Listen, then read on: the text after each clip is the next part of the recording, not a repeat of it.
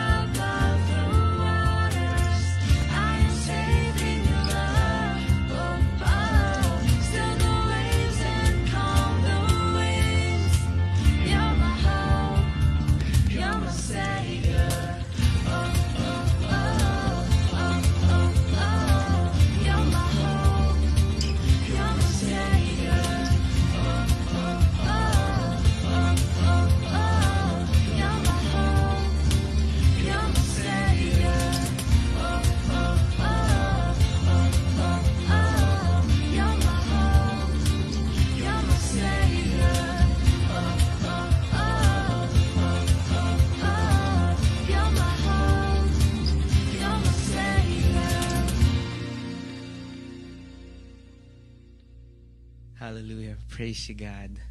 Thank you, Jesus. Nothing is impossible with God. Amen. You know, even if God is already the most powerful, He is still extremely generous. You know, He always has something up His sleeve, He's always filled with surprises, and He wants us to share in His love. And you know what, brothers and sisters, the greatest outpour of His love was Jesus Christ, His Son on the cross, dying for you and me. There's nothing more to do, there's nothing more to say than a very big thank you. And that's what we're going to do today. And so, today, brothers and sisters, let's open our hearts, let's accept His love as we pray in the name of the Father, and of the Son, and of the Holy Spirit. Amen. Thank you, God. Thank you, Jesus, for dying on the cross for us. Thank you for giving me this life. Thank you for allowing me to stand here in front of you with my arms wide open, just ready to thank you with all of my heart. Lord, we just want to thank you as well for the struggles, for the shame, for the guilt, for the mistakes. We thank you for the lessons that they have given. Again, Lord God, we just want to thank you. And today we open our hearts to you. We open our minds to you. We give you our souls and our everything as a sign of our gratefulness to you. We'll forever love you. We will forever be grateful for what you've given us. And today, Lord God, with arms wide open, with hearts open, we sing this song to you as a song of our gratitude for all of the love you have given.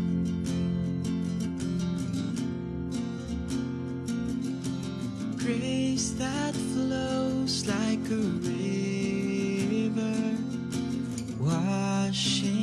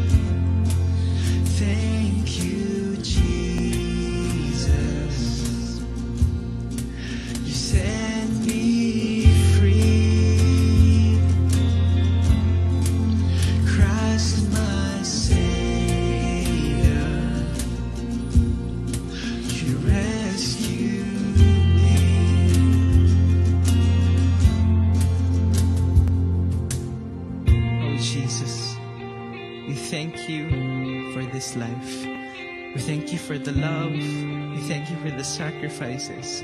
We thank you for your calling in our lives. We use this song as a declaration, Lord God. We give you our all. We love you very, very much. We sing this to you.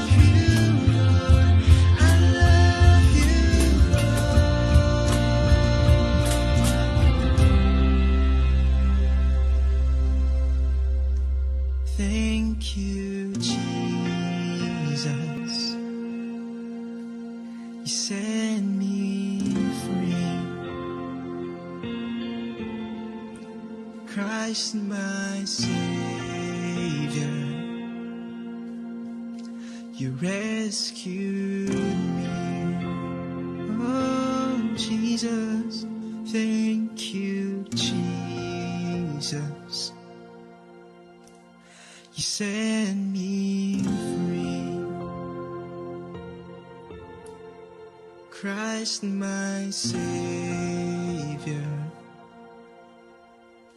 You rescued me.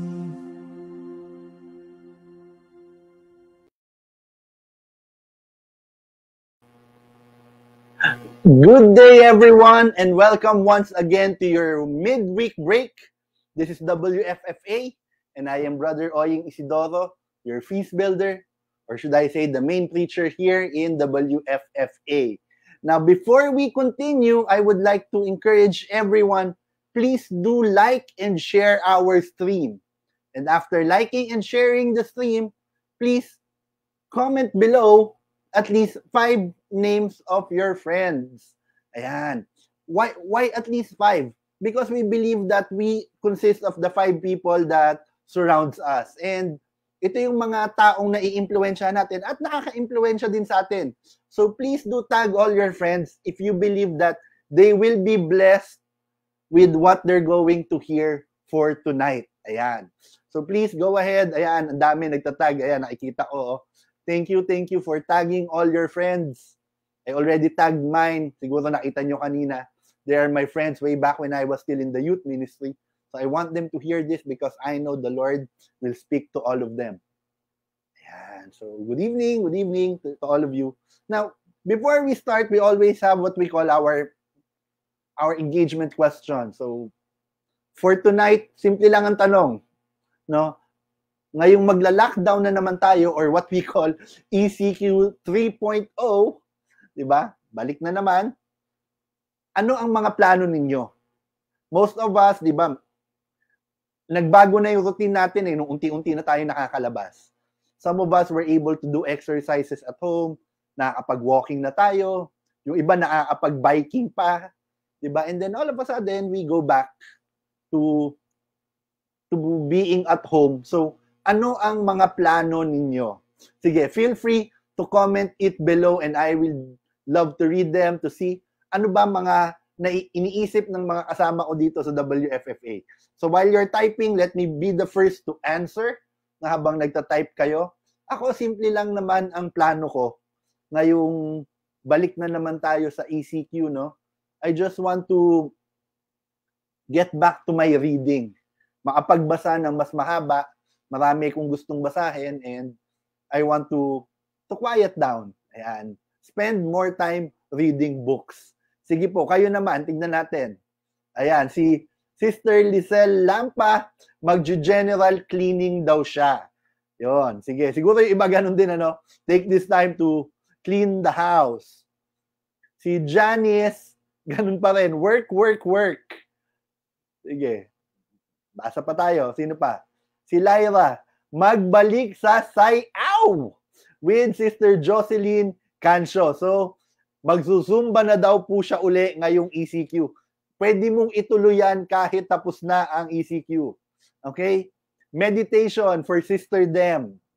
Sige, sino pa? Tingnan natin. Ayan. Tigilan na ang pagbili sa Lazada, sabi ni Brother Michael Sanchez. Ayan. So, hinay-hinay muna sa add to cart, di ba? Add to cart na eh. No? Kay Sister Helen, spend more time for reflection. Katulad nung sagot ni Sister Dem, meditation, reflection. It's a good time for us no to pinabagal mo yung mundo mo. So take time to really reflect and slow down na habang nasa bahay ka. Hindi naman kailangang laging magmadali. Kay France, aral muna. Good job, France. Aral. Sige, good dyan, good dyan. Kay Brother Ton Beredo, gusto po niyang matutong magluto. Pareho tayo, bro. Siguro, isa din yan sa mga pwede kong projectin ngayong ECQ, matutong magluto. Ma- Magaling lang ako kumain eh. Pero hindi ako marunong masyado magluto. Kay Ariel naman, home workout since close po ang gym. Yes. Oo nga, ano, close na naman sila. So, balik sa bahay. Pero it doesn't mean that if we cannot go out, our lives will stop. So, tuloy po ang ating pag-exercise. Ayan. Si Donna, take an online course po. Ayan. Invest sa learning. Tama. Because we believe that learning is the new currency. No? So, kailangan mag-invest tayo sa ating karunungan. Sige, basa pa tayo ng mga tatlo pa. Mag-experiment ng pang-diet na food para sa boss ko. Sabi ni Jenny May. Sige, Jenny May, sana yung boss mo pumayat na sila sa gagawin mong experiment ng mga diet food. Okay? Next, basa pa tayo. Tatlo pa po. Last three. Sige. Meron pa ba? Si Ate Mai. Zumba din daw with Tita Joy. Okay, very good. Samahan mo sila eh. No, tuloy-tuloy nyo na ha. Even after the ECQ, ituloy nyo na yan. Kay Sister Chat, work, cook, sleep, at uninstall Shopee at Lazada apps. Siguro yung last yung pinaka maganda eh, no? Uninstall yung Lazada apps, no? Tsaka yung Shopee. Para talagang mapalayo tayo sa tukso. Yun nga yung sabi niya. Habang nasa house lang. Next. Siguro ito na yung last. More time to read the Bible. Thank you, Sister Antoinette, for that. No? Talagang more time to read the Bible. Nasa bahay lang naman tayo. Hindi tayo nakakalabas. So, it's, it's nice that you find time to read the Bible more. As we continue with our series, di ba? So, mabasa ninyo yung mga pinag-usapan natin dati, maganda yon. Or, you do your advanced reading para pag tumuloy tayo, nabasa nyo na. So, whatever plans you have, I pray that the Lord bless all these plans and you be able to execute them well and good. So, as we continue, let's all pray our favorite prayer here at the feast, all together in the the Father and of the Son and of the Holy Spirit. Amen. Today, I receive all of God's love for me. Today I open myself to the unbounded, limitless, overflowing abundance of God's universe. Today I open myself to God's blessings, healing, and miracles. Today I open myself to God's word so that I become more like Jesus every day. Today I proclaim that I am God's beloved, I am God's servant, I am God's powerful champion. And because I am blessed, I am blessing the world. In Jesus' name, amen. Let's honor the word of God.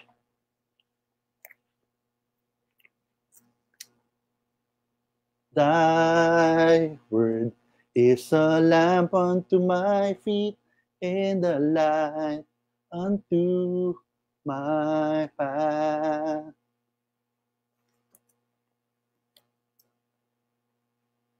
Our one big message for today is don't get what you deserve, get what grace delivers. Get what grace delivers. Naranasan nyo na ba sa Christmas party ninyo na unang nabunot yung pangalan mo? Tapos nung nabunot yung pangalan mo, alam mo na hindi ka na pwedeng makasama sa grand prize or sa major raffle. Kasi nga nabunot ka na eh. Di ba ganun yun? Process of elimination. Pag nauna ka, tanggal ka na. Naalala ko nga dati, ang biroan namin, pag una kaming nabubunot, pwede bang pass na lang, balik na lang yung pangalan namin, ayaw muna namin ng gift na yan. Pero wala kang choice eh. So imagine this, you are at work, sabihin na natin hindi pandemic at nasa trabaho kayo, tapos nabunot yung pangalan mo sa minor prize. Isa ka sa mga una, sabihin natin mga pang-apat, no? Pagkakuha, nakita mo ang premyo, t-shirt. Okay, excited ka, nilad, niladlad pa nung host yung napanalunan mo. And Oying Isidoro won a brand new Boracay shirt. Kasya siguro sa kanya to. Di ba ganun yun? Akyat ka pa sa stage, isusukat pa kunyari sa'yo. Bagay na bagay, bro. Tingnan mo. oh. It looks good on you. Congratulations. O, picture muna. Bababain ka na ng stage. No? Pero ikaw, hawak-hawak mo yung t-shirt. Sayang. Sana grand prize sana eh. Pero sige, okay na rin to. Tapos ito na. In-announce na kung ano yung grand prize. Usually hindi ina-announce, di ba? So ito na, nagbubunutan na. Ito na yung pinakahuling premyo. The grand prize for the night.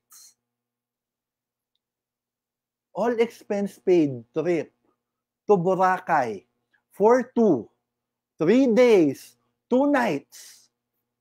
At bumunot sila. At ang nakuhang pangalan, yung office mate mo na delinkwente. Ito yung pinaka-late dumating at pinakaunang umuuwi.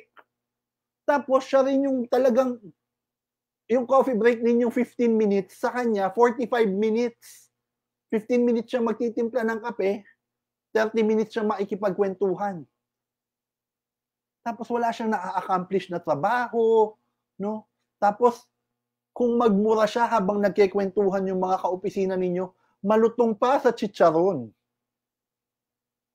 Tapos makikita mo siya yung nanalo ng grand prize.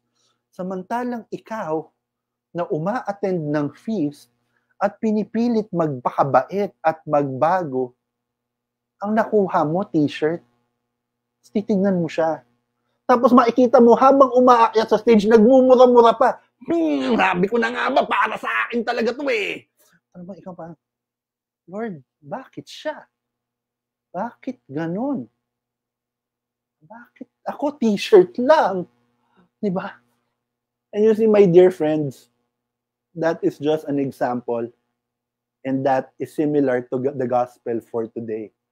So let's read the gospel from Matthew chapter 20, verse 1 to 7. For the kingdom of heaven is like the landowner who went out early one morning to hire workers for his vineyard. He agreed to pay the normal daily wage and sent them out to work. At nine o'clock in the morning, he was passing through the marketplace and saw some people standing around doing nothing. So he hired them, telling them he would pay them whatever was right at the end of the day. So they went to work in the vineyard at so they went to work at the vineyard at noon and again at three o'clock. He did the same thing. At five o'clock that afternoon, he was in town again and saw some people standing around. He asked them, Why haven't you been working today? And they replied, Because no one hired us. The landowner told them, Then go out and join the others in my vineyard. Now, if we're going to look at that story, the master got five groups of workers. No? Limang grupo. The first one was early in the morning, which is around 6. Di ba? And then he went out again at 9. And then at noon. And then he went again at 3 o'clock in the afternoon. And then the last one was at 5. And the work ends at 6. And he decided to pay them at the end of the day. Let's continue reading the, the verse. That evening, he told the foreman to call the workers in and pay them, beginning with the last workers first. When those hired at 5 o'clock were paid, each received a full day's wage. When those hired first came to get their pay, they assumed that they will receive more, but they too were paid a day's wage. When they received their pay, they protested to the owner. Those who worked only one hour, and yet you paid them just as much as you paid us, who worked all day in the scorching heat. So imagine, unang pinusweldo, no? Unang pinasweldo yung mga huling dumating. No? Ikaw nagtatrabaho, ikaw imagine mo ikaw yung nandun sa last sa first group which came in at 6 o'clock in the morning. No? At 5:30 gising ka na, papunta ka na sa trabaho, you're going to work in the vineyard. So 6 o'clock trabaho na kayo. By 9 o'clock may dumating na second batch. By the time na dumating yung second batch, tatlong oras ka nang nagtatrabaho. Imagine, pawisan ka na kung nandun ka sa vineyard. By that time, by noon, yung second batch, ay, dugyot na dugyot ka na. Pero trabaho ka pa rin. Di ba? Okay lang. Trabaho eh. Ito yung napagkasunduan eh. And then, dumating yung last batch. Dumating 5 o'clock. Ang tapos ng trabaho, alas 6. So, itong mga to, yung huling dumating, malamang hindi pa pinapawisan si sweldo na. So, ngayon, ito yung feeling mo, parang, teka, sandali lang. Mas matagal ako nagtrabaho. So, base dun sa oras ng trabaho, kung itong mga to sinweldohan ng ganun, malamang, mas malaki yung akin. So, let's continue reading the verse. When they received their pay, they protested to the owner. Those who worked only one hour and yet you paid them just as much as you paid us, who worked all day in the scorching heat. And he answered one of them, Friend, I haven't been unfair. Didn't you agree to work all day for the usual wage? Take your money and go. I wanted to pay this last worker the same as you. Is it against the law for me to do what I want with my money? Should you be jealous because I am kind to others? So those who are last now will be first, and those who are first will be last. Pag titingnan natin, di ba, in the normal course of things, ang iisipin mo, teka, sandali. Una akong nagtrabaho, mas malamang malaki yung sasahurin ko. Di ba? Kasi huling pinasahod, ay unang pinasahod yung mga huling dumating. So, hin- hindi malayong isipin mo yon. But, if we review the text, ayan, for the kingdom of heaven is like this. Ayan, let's, let's skip that part. Let's go to he agreed, ayan, he agreed to pay the normal daily wage and sent them out to work. Yun yung first batch. In fact, dun lang siya sa first batch, nagkaroon ng agreement. He said, I will pay the normal daily wage and sent them out to work. The next batches, this is what he said. And I changed the font color so we can see clearly. So he hired them, telling them he would pay them whatever was right at the end of the day. He did not say, I will give you what is the normal wage. He said, I will give you what is right at the end of the day. Now, these workers working not on the normal 12 hours, we're already thinking, no, baka most probably ma ang matatanggap natin ay mas konti kaysa dun sa nauna. Kasi late tayong dumating eh. But if we're going to look at it based on the logic of man, that is the right thing.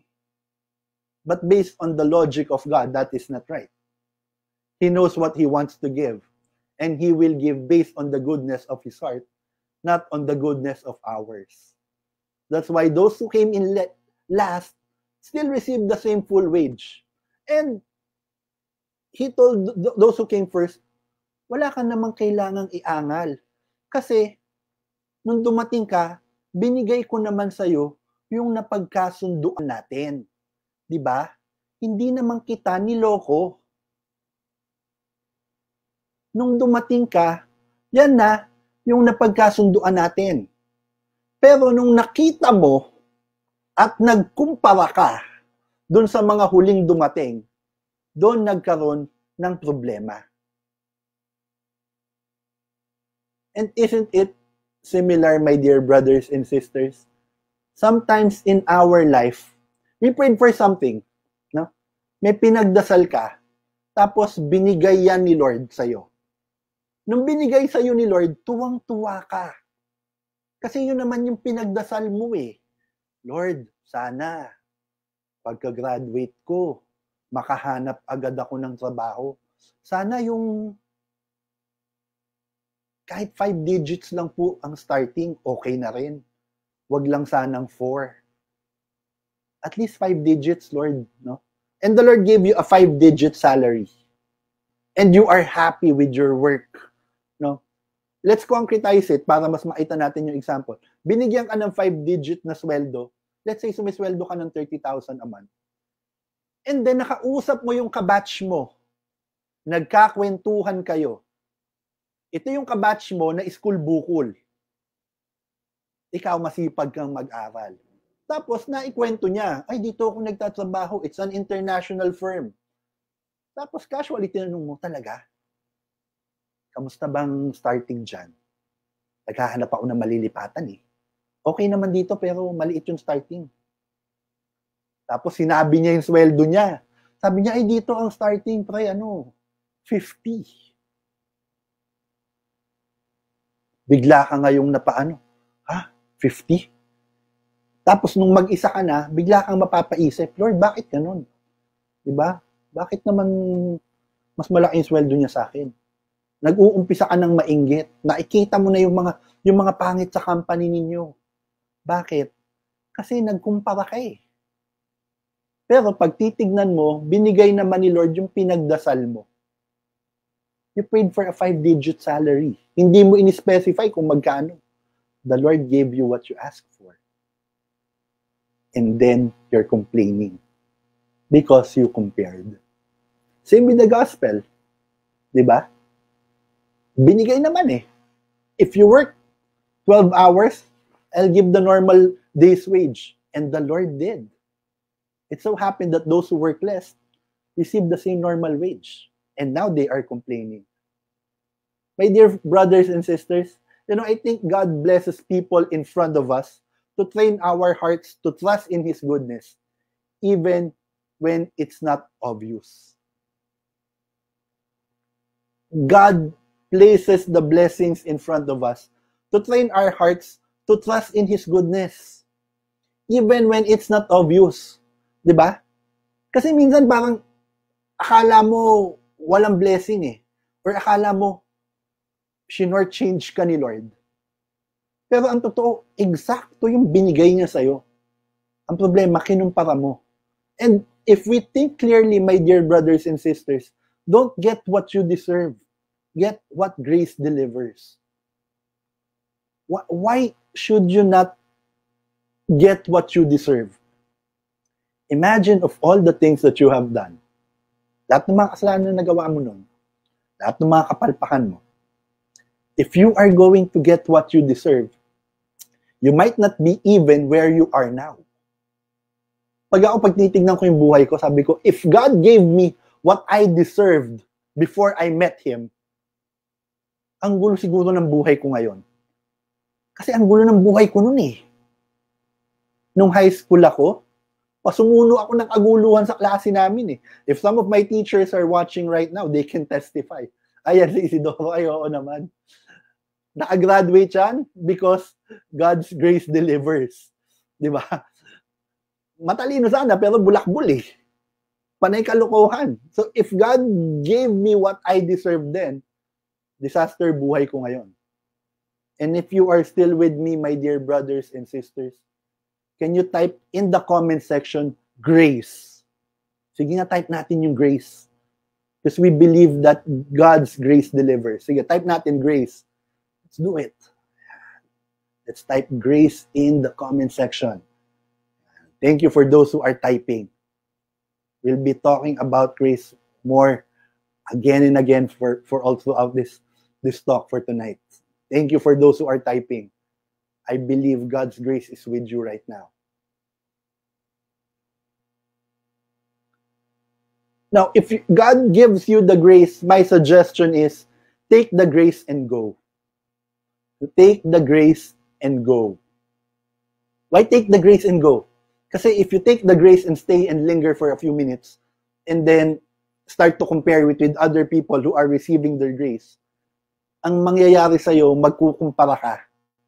At pag nagkumpara ka, ayan, nakwento ko na kanina, ganun yung mangyayari eh. Magkukumpare ka, maiinis ka dahil feeling mo, madaya si Lord. Pero ang totoo, mabait pa nga siya eh. Kasi kung binigay niya sa'yo yung what you deserve, most probably, magkakaproblema ka.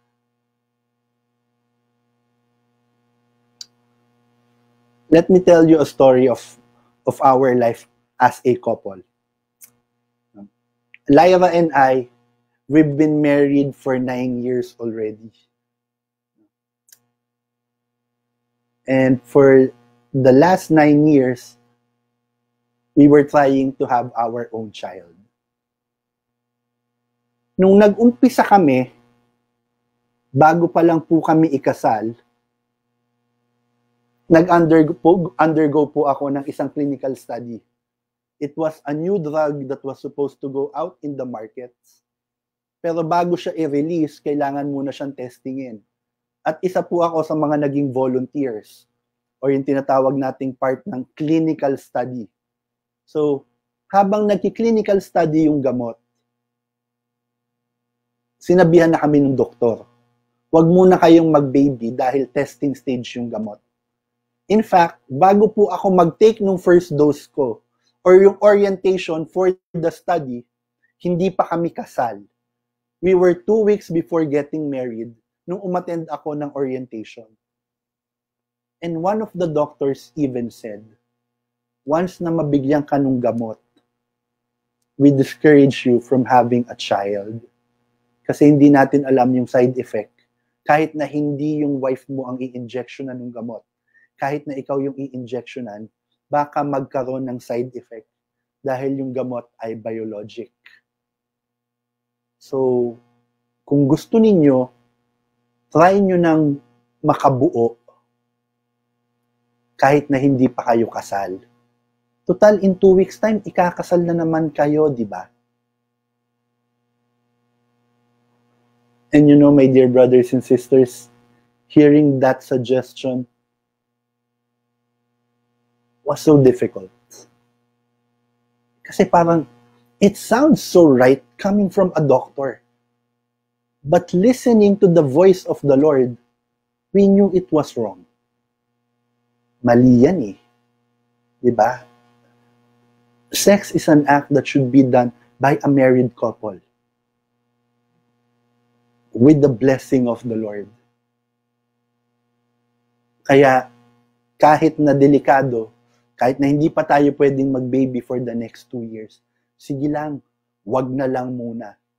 And we forgo the thoughts na wala, wala tayong gagawin. Hintayin na natin matapos yung first two years.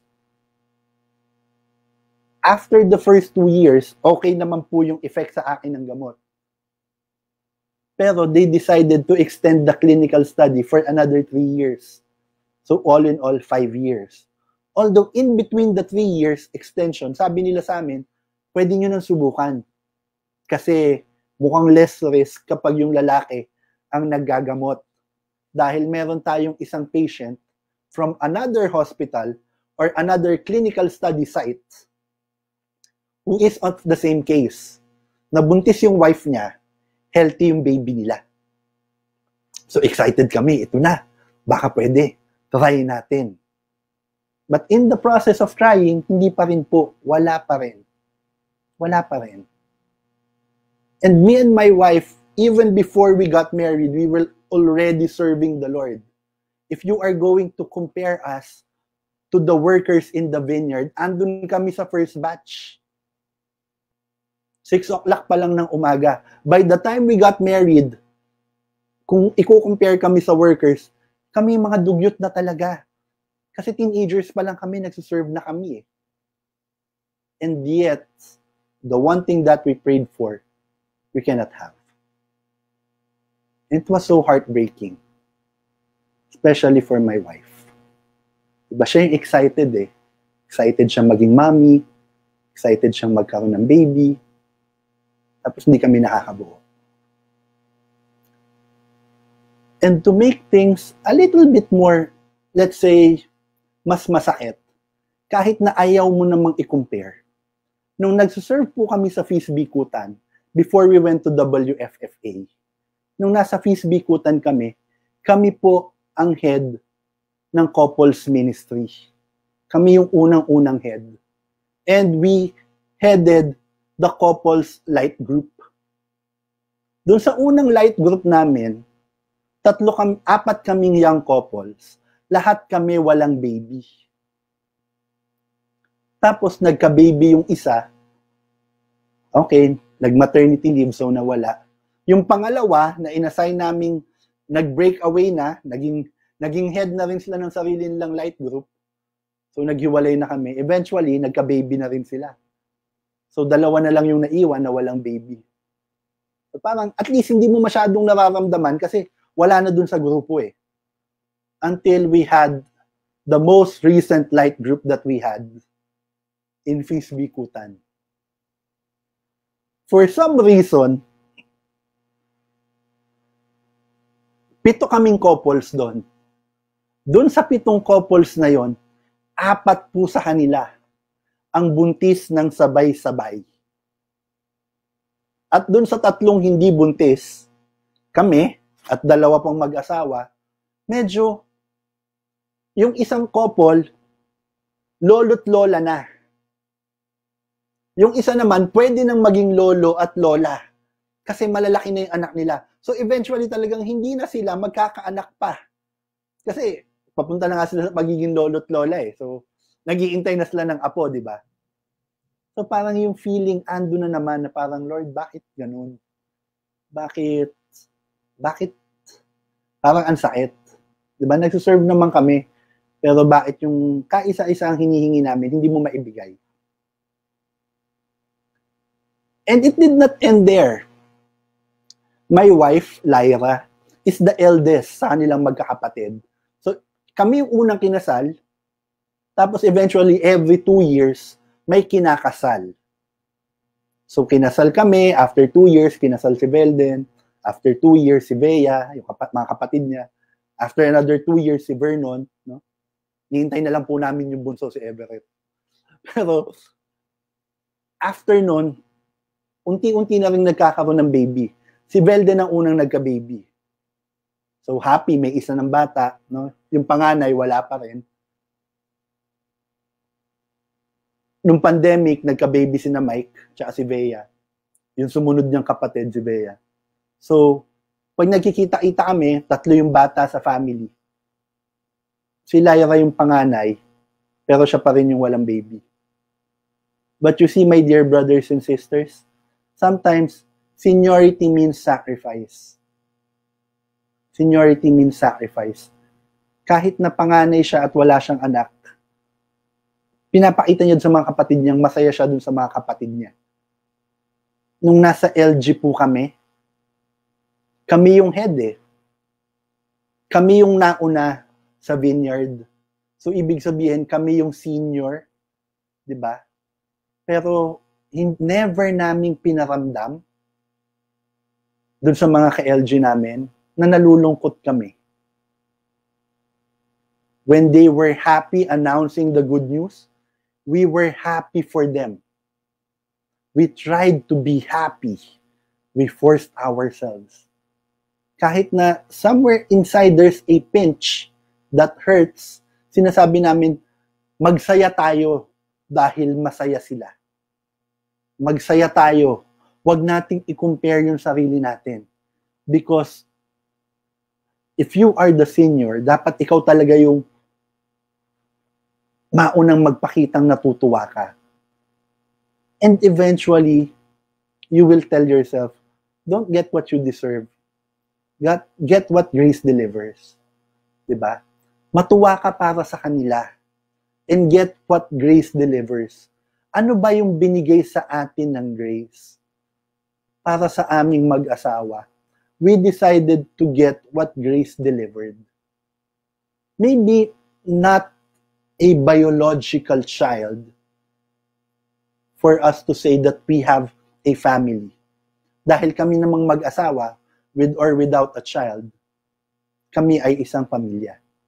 And to all the couples out there who are watching, kung wala pa po kayong anak, tandaan po ninyo, kayong mag-asawa na pinagsama ng Panginoon, pamilya na po kayo.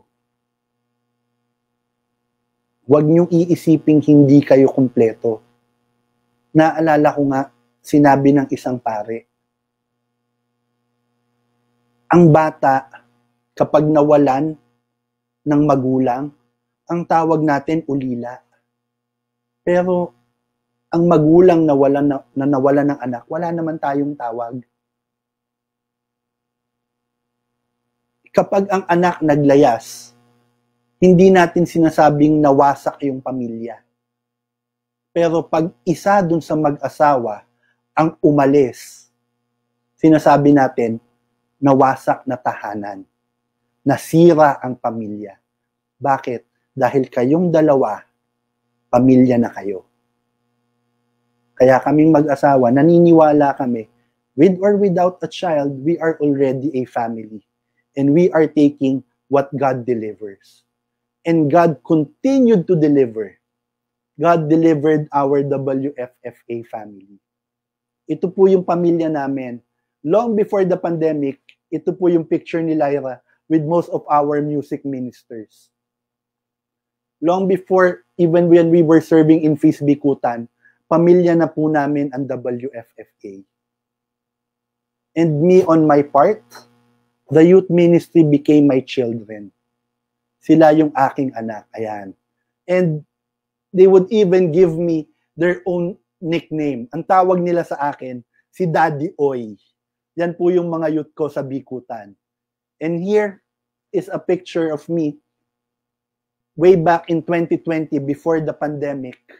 Hindi pa po ako feast builder ng WFFA during that time. I was just invited to give a talk to the youth ministry of WFFA. Hindi ko naman alam bakit nila ako in-invite the day before my birthday. Yung pala pinagpaplanuhan nila ako at ayan po may pakik sila sa akin. At lahat ng mga umattend ng talk ko noon, sana umattend pa rin kayo ngayon. 'Di ba? Ako na officially ang daddy oying ninyo eh. So I am excited to be your daddy.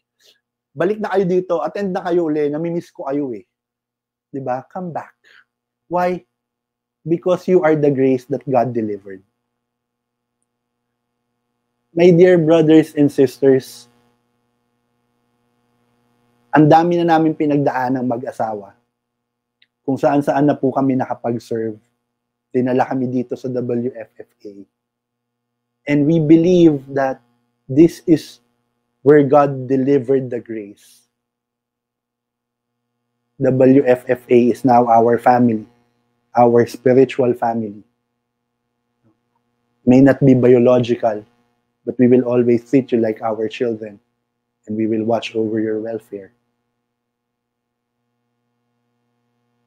It may be difficult, but we know this is what God wants for us. And what God wants for us will always be the best. Remember, if you try to get what you deserve, your life might be in disaster because what you deserve might not be the best.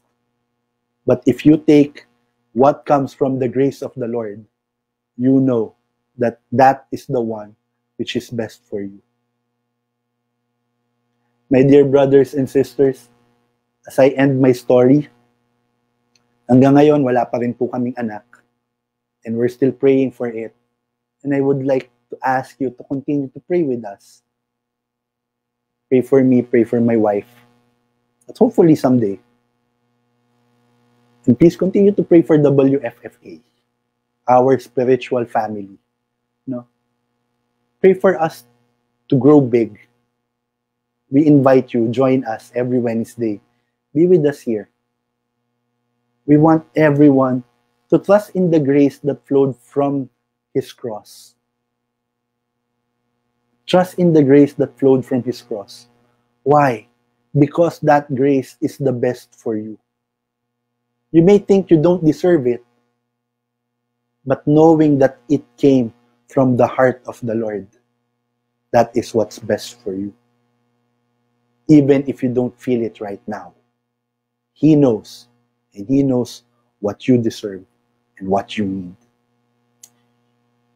I invite everyone to pray with me all together in the name of the Father and of the Son and of the Holy Spirit. Amen. Father, thank you for your grace. We may not get what we think we deserve, but we are sure what your grace gives. It is what's best for ours, for our hearts, Lord God. It is what is best for our current situation. Our vision may be limited, but not yours. And you can see what we will be needing in the future. And your grace will supply every need, even in times of uncertainty. And all this we pray in Jesus' name. Amen. My dear brothers and sisters, I invite you, let's continue to worship the Lord.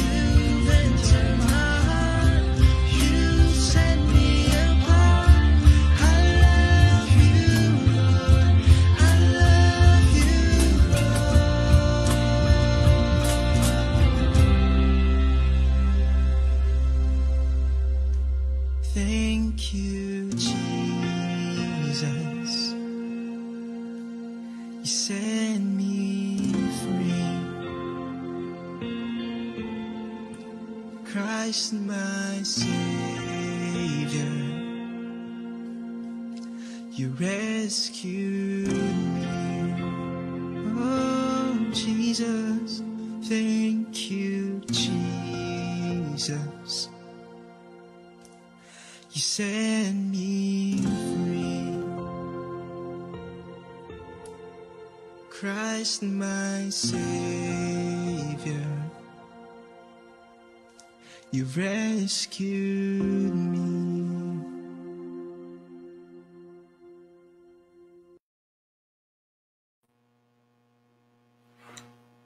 Thank you, Lord God. Thank you.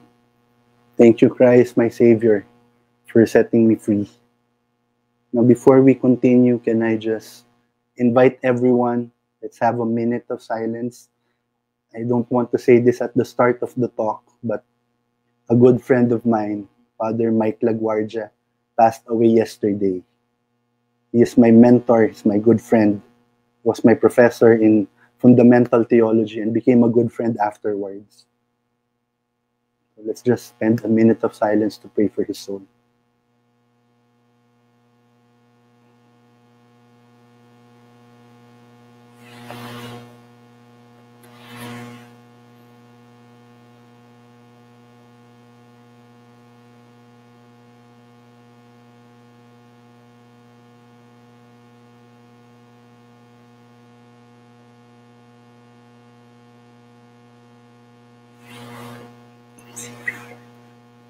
Amen.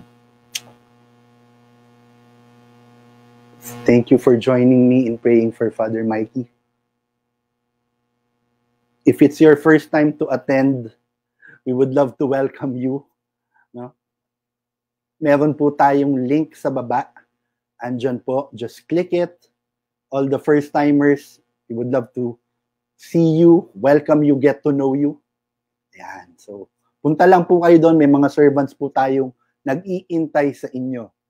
And then I would like to invite everyone after this feast, immediately after, meron po tayong after party. So it's our after party, after the feast immediately. The link is there. We will have fun, games, and interaction. So, ito pa rin po extension to ng feast natin. This is a chance for all of us to to know more about all the co-servants and all those who are attending WFFA. So, masaya ito, may mga games, may prizes.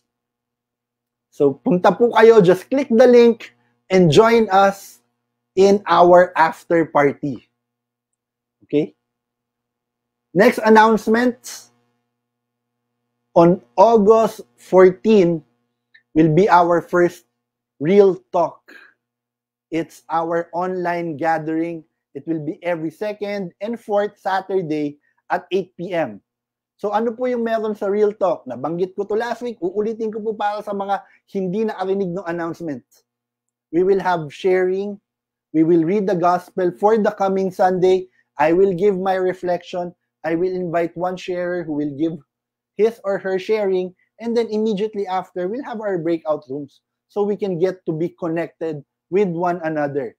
That's why here in WFFA, we believe love connects. So we need to be connected. That's the reason why we will have our real talk. And then before we end, I would encourage you all to continue giving your love offering. Tuloy-tuloy lang po natin yung pagbigay. Ang inyong pagbibigay ang sumusuporta sa ating ministry. What you give supports what we are doing here. That's why we can continue doing this kahit na nag-ECQ, nag-ilang ECQ, nagagawa pa rin po natin. Why? Because there are people who are supporting us. So we do encourage you to please continue send in your support, send your love offering and your tithes. There are several ways for, you to be able to give. Let's flash that on the screen so that they can see. Ayan po. Ayan lahat ng mga ways for you to be able to give.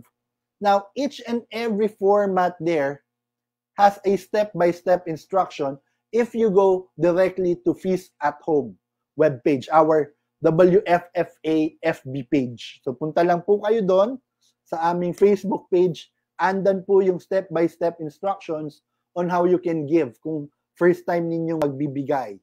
And I also encourage everyone to join our I Give Club. The I Give Club is our group for those who want to continue to pledge despite giving their love offering on top of their love offering mag-pledge kayo ng 1,000 pesos every month lang naman.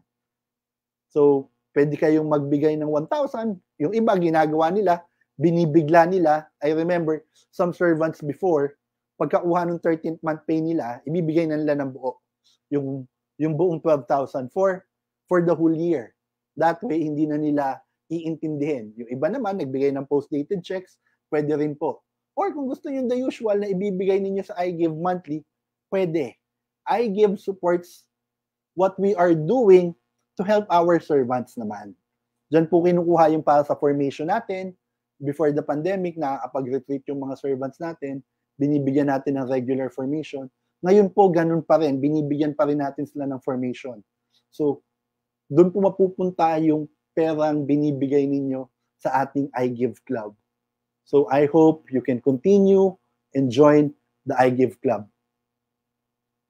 And my dear brothers and sisters, for all those who shared and like our stream, thank you very much. Please continue to do that. Please continue to follow our page.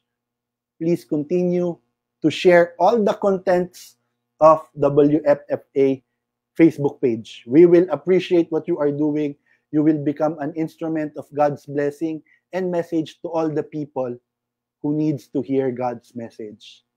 Again, I am Brother Oying face Builder of WFFA, and I'll see you all at the after party.